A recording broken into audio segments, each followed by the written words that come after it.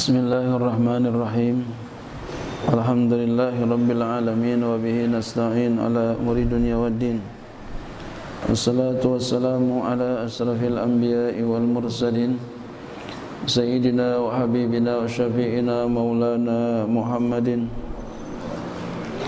وعلى آله وصحبه أجمعين سبحانك لا علم لنا إلا ما علمتنا إنك أنت العليم الحكيم ولا حول ولا قوة إلا بالله العلي العظيم أما بعد قال مصنف رحمه الله تعالى وعلى منفع في علوم في دارين آمين الأفعال perbuatan perbuatan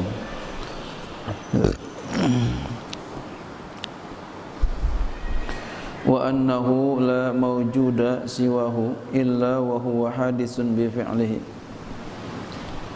Wa annahu dan bahwasannya Allah la mawjuda siwahu. Tidak ada mawjud enggak ada ada siwahu. Tidak ada yang mawjud kecuali Allah illa wa huwa hadisun bi fi'lihi. Kecuali dia yang ber, kecuali dia terjadi dengan perbuatannya Allah Subhanahu wa taala.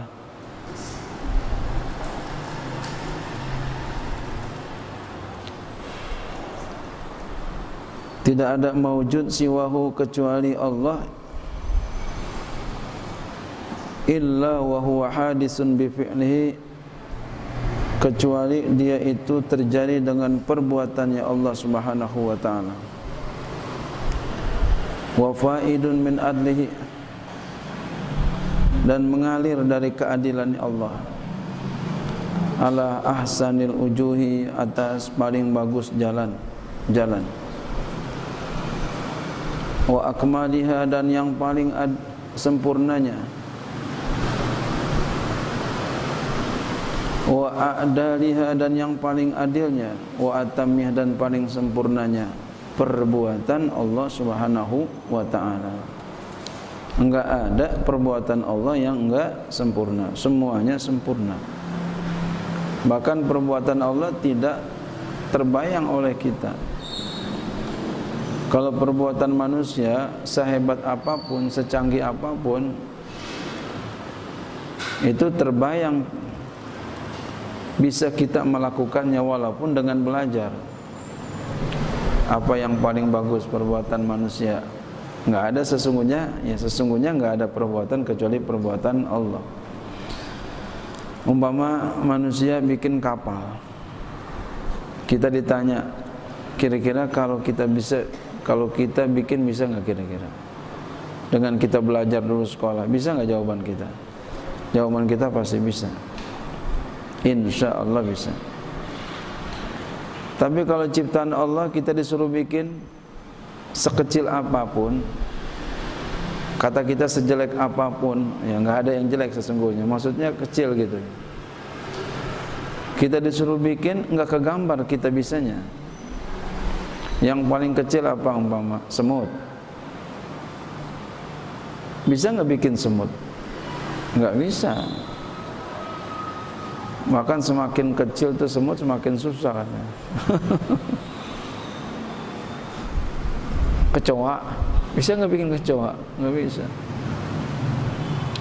Pohon, pohon toge, bikin pohon toge, bisa nggak bikin pohon toge? Nggak bisa. Tuh ciptaan Allah sempurna, sempurna, sempurna. Dan semua ciptaan Allah bukan hanya sempurna indahnya ciptaan Allah banyak manfaatnya. Enggak ada yang enggak ada manfaat, semua penuh manfaat.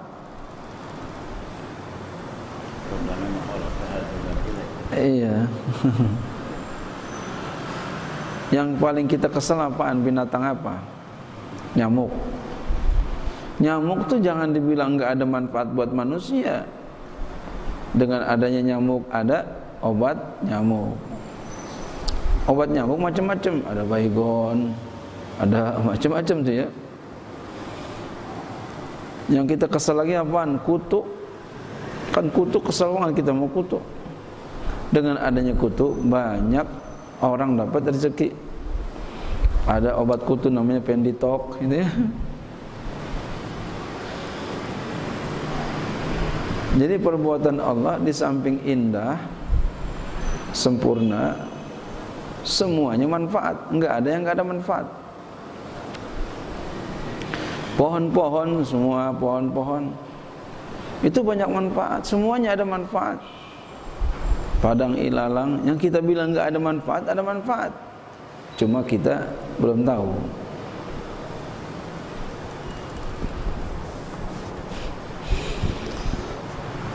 Jadi berhusnuzon aja sama Allah. Semua apa yang Allah ciptakan buat kita semuanya manfaat.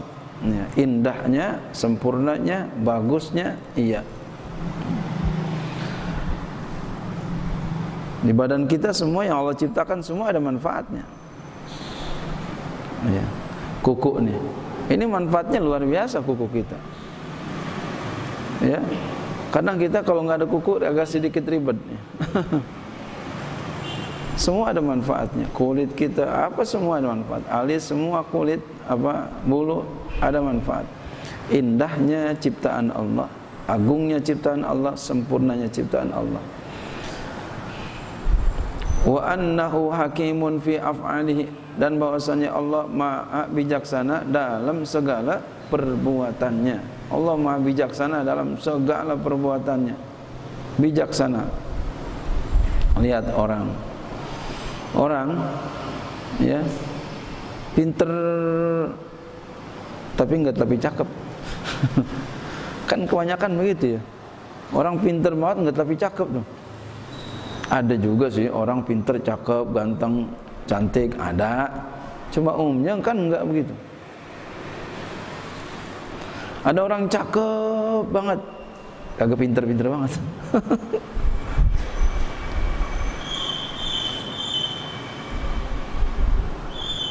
Ada orang kaya, kaya, kaya banget. Tapi nggak betitel dia. Ya, lihat orang Cina.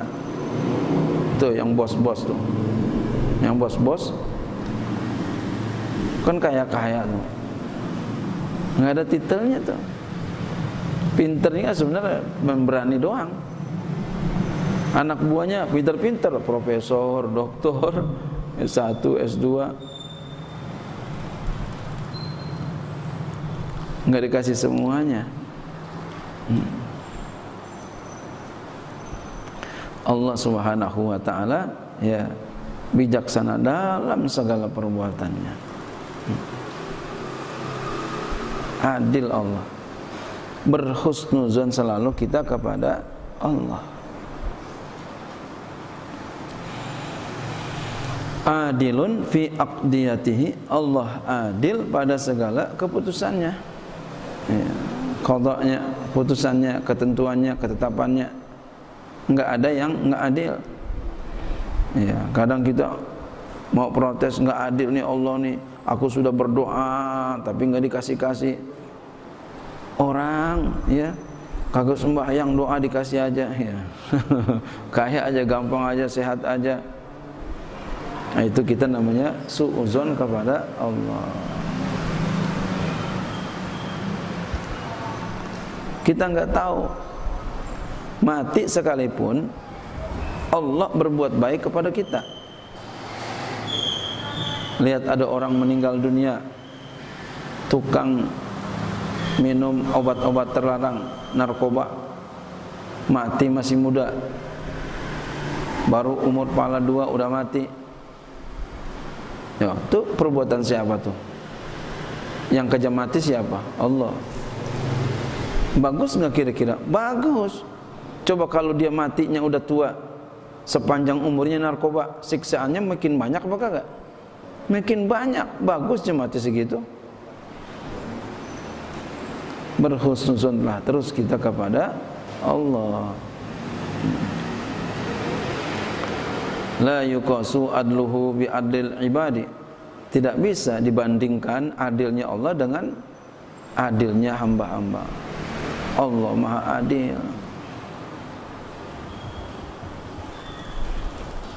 Kalau kita mah orang berbuat baik baru kita berbuat baik, umumnya begitu. Kalau Allah enggak. Orang yang berbuat baik, orang yang enggak berbuat baik, orang beriman, Allah enggak orang enggak beriman, tetap Allah berbuat baik kepadanya.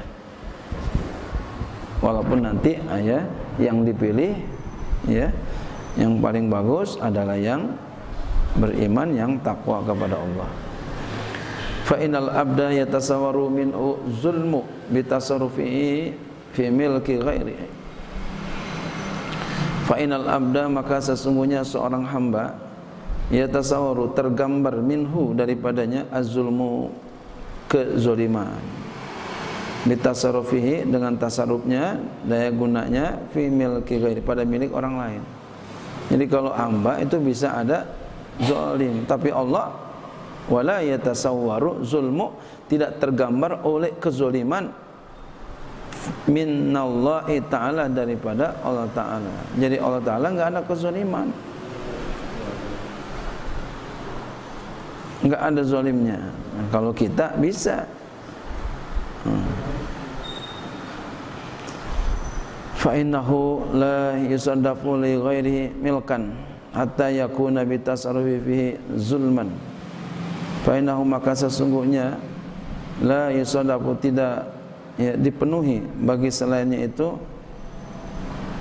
miliknya. Hatta yakuna bitasaru bitasarufihi fihi zulman.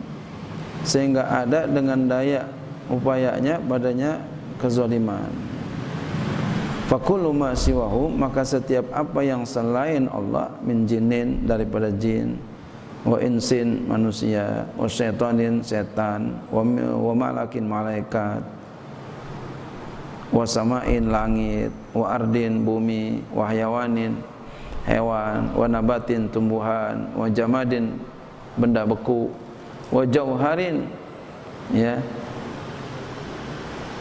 Benda uh, apa jauharul farad benda sesuatu yang bisa kebagi. Wa ardin sifat wa mudrakin yang, yang, didapati wa yang dirasakan hadisun. Itu adalah baru semua.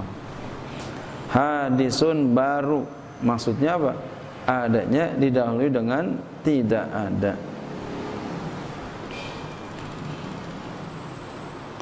Adanya didahului dengan tidak ada. Itu hadis. Baru bahasa Melayu baru bahasa sekarang baru. Semuanya baru didahului dengan tidak ada. Kayak kita ini namanya bahru. Kita ini didahului dengan tidak ada. Ikhtara'u bi kudratihi ba'dal adami ikhtira'an. Allah ciptakan dia dengan kuasanya Allah setelah tidak ada dengan sebenar-benar penciptaan. Ya. Surga neraka termasuk bahru jin ya manusia, setan, malaikat semuanya bahru, bumi, langit semuanya bahru. Tadinya enggak ada, sekarang ada. Dulu enggak ada, kan Allah wala makan. Kan Allah wala makan. Allah ada, enggak ada tempat. Sebelum ya apa? Ada Allah, kan Allah ada Allah wala makan dan enggak ada tempat. Artinya apa? Tempat ini awalnya enggak ada. Kemudian Allah adakan. Bumi ini awalnya enggak ada. Langit ini awalnya enggak ada. Kita awalnya enggak ada.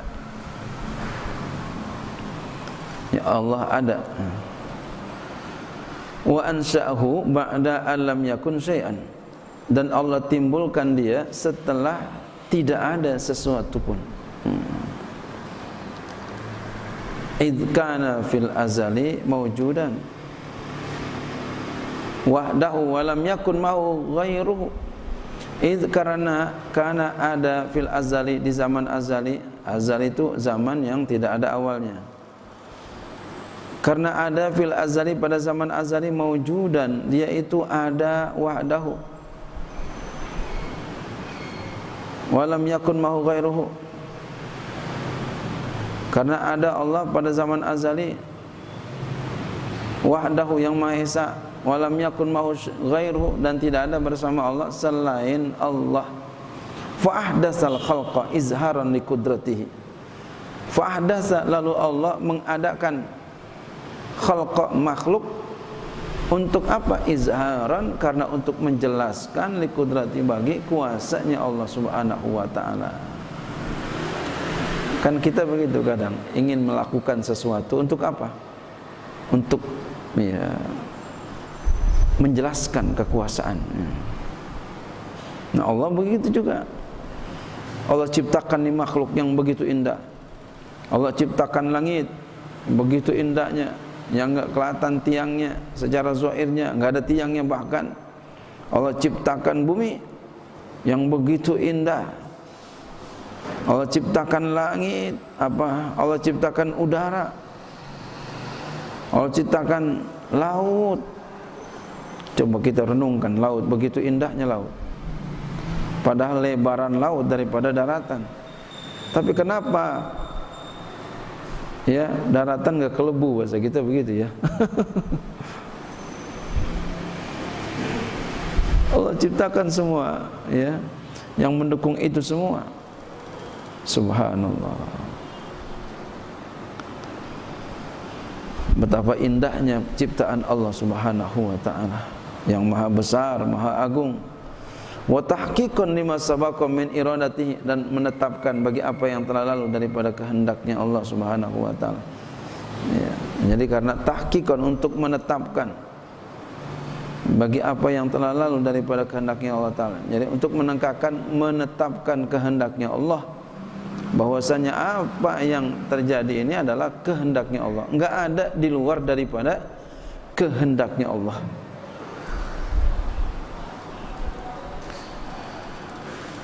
semuanya ya. baik yang baik maupun yang buruk yang cakep yang jelek semua kehendak Allah cuma memang ada yang Allah ridhoin ada yang enggak diridhoi kehendaknya Allah perbuatan Allah semuanya ya. yang maksiat yang taat perbuatan Allah kehendak Allah. Cuma ada yang Allah ridhoin ada yang Allah enggak ridhoin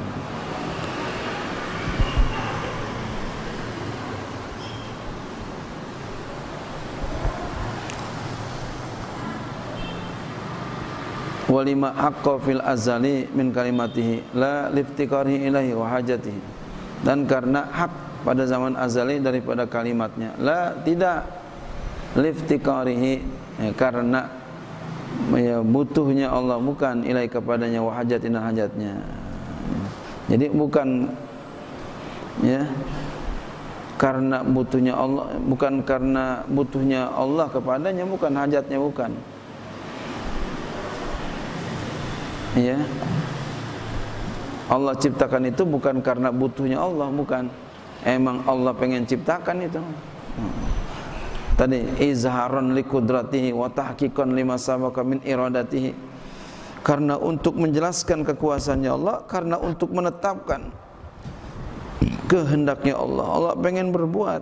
Ya, ya bukan karena Allah butuh. Kan ada itu dalam kaidah oh apa dalam ilmu fikih.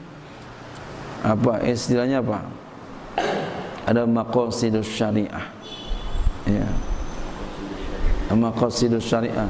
Ada hibzuddin hibzun nafs hibzul aql hibzun nasl ya. Hibzul mal.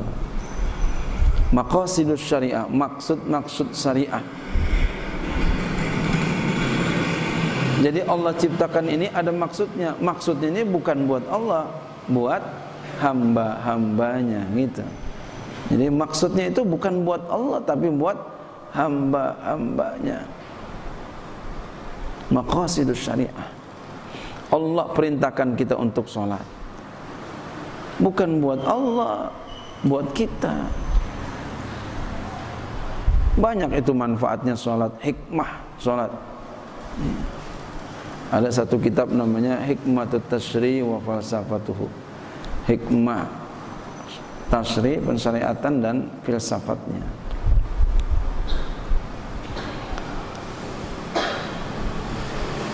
Wa annahu mutafaddilun bil khalqi wal ikhtira'i wa taklifi la an ujubin wallahu a'lam bissawab